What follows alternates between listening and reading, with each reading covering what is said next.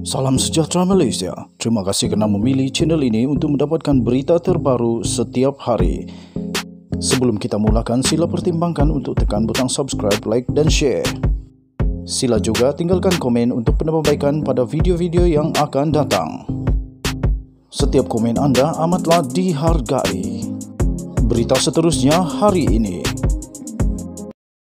Hello, selamat pagi. Kita teruskan berita terkini dipetik daripada hmetro.com.my bertajuk Rakyat Malaysia Terlepas Tali Gantung. Singapura, rakyat Malaysia yang berumur 38 tahun yang terselamat daripada hukuman gantung pada 13 Oktober 2020 selepas Mahkamah Rayuan telah membebaskannya dari pertuduhan berat berkaitan dada. Akhirnya melangkah keluar dari tahanan sebagai seorang lelaki yang bebas.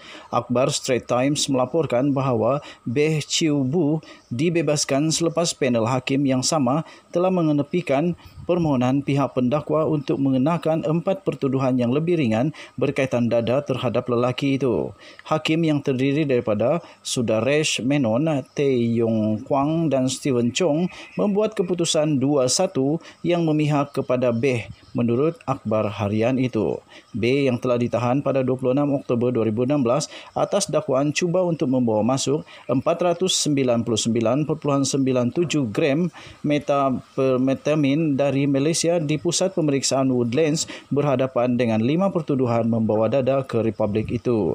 Bagaimanapun, pihak pendakwa hanya meneruskan pendakwaan terhadap B dengan hanya satu pertuduhan berat yang jika sabit kesalahan boleh membawa hukuman gantung sampai mati. Sekian berita, selamat pagi Malaysia, bye-bye.